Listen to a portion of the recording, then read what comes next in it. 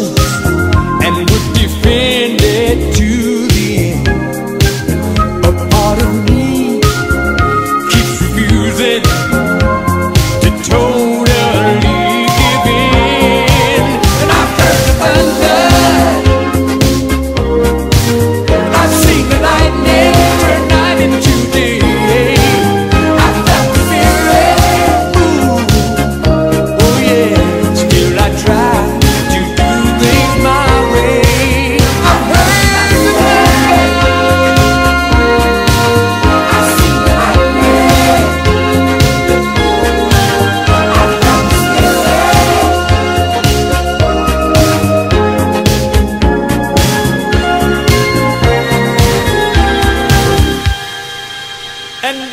Lord, I love you, love you so sincerely.